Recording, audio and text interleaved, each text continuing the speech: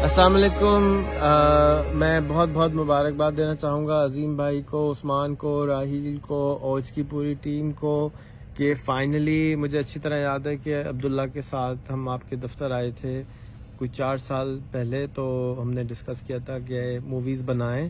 तो आपने कहा, बिल्कुल बना रहे हैं और शुरू कर रहे हैं। और अल्हम्दुलिल्लाह आज चार साल के बाद हमने मूवी देखी, बहुत मज़ा आया।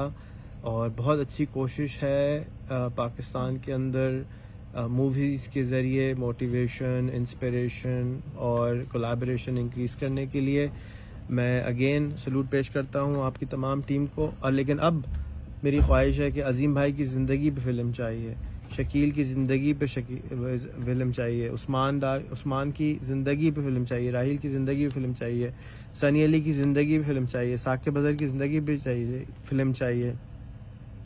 जितने हमारे प्यारे प्यारे लीडरान इस मुल्क में काम कर रहे हैं उनकी ज़िंदगी पे फ़िल्म चाहिए उनकी ब्रांड को बड़ा करने के लिए आपने इस, इस, इस फ़िल्म में बहुत अच्छी तरीके से जोल्टा की पोजीशनिंग की है मुझे बहुत खुशी हुई।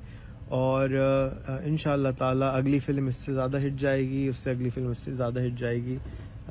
इसी तरह से आप लोग लगे रहें। पाकिस्तान जिंदाबाद। वालेकुम